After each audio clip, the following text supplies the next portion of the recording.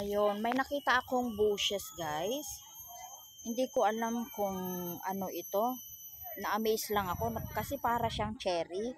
Ayan yung flower niya, guys. So, yan, yan ang flower niya. At saka ganyan siya kaya kakapal yung bushes niya, guys. Para siyang mansanitas din. Yan. Ang ano niya, bunga niya is ganito. Ang bunga niya pag maniba pag maniba is ganyan. Ganyan ang itsura. Ganito pag nahinog. Parang ang cherry, 'di? Para siyang cherry. Aray ko, ang daming langgam.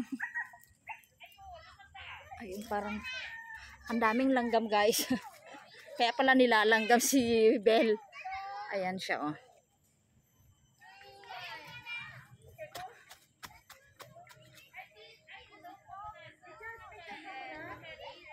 Ayan.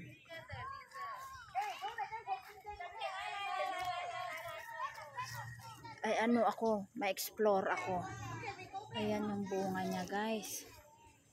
Eh, yung pangalan niya hindi ko alam kasi hinahanap ko kung nasan yung pangalan niya guys. Iikot ako. Titingnan ko kung ano yung pangalan niya guys. Daming langgam. Nilanggam na siguro si Belle.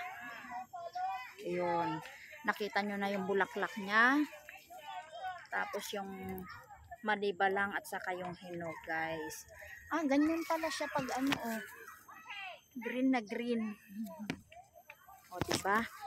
Tingnan natin ngayon kung ano ang pangalan niya, guys. Kasi hindi ko rin alam pangalan niya.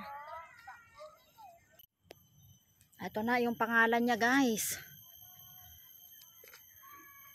Talagang pap titingnan ko kung ano yung pangalan niya. Wild crepe myrtle. So hindi siya yung hindi hindi siya ano guys. Hindi siya red cherry. hindi pala red cherry. Wild crepe myrtle. Right